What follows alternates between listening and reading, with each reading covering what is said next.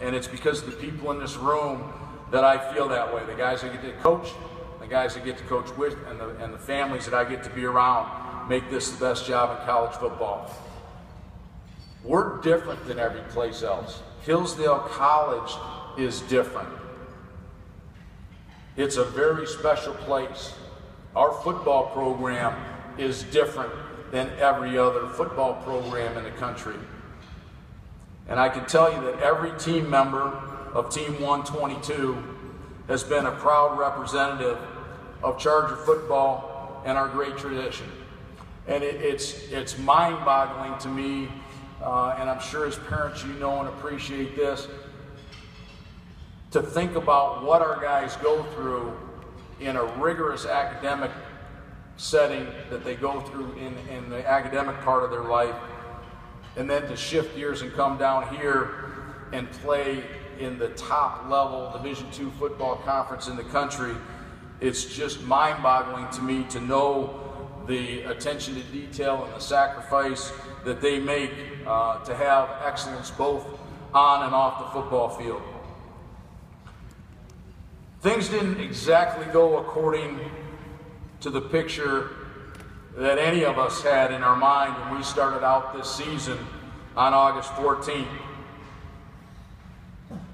We faced adversity, injuries, frustration, disappointment.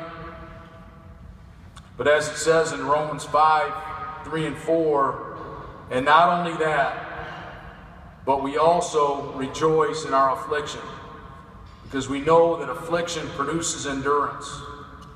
Endurance produces proven character, and proven character produces hope.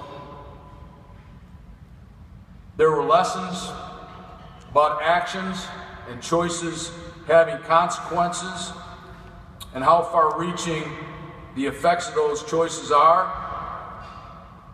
We learned that character and integrity are a 24 7 thing that can't be turned on and off. We learned that if you see a wrong occurring anywhere, that we have an obligation to step in and stop it. We learned to fight. We learned to stay together as the members of our Charger football family. Team 122 played with focus, effort, and intensity every week. Characteristics of pride, character, unselfish attitude, tremendous work ethic allowed us to be resilient each week and properly prepared for our next opponent.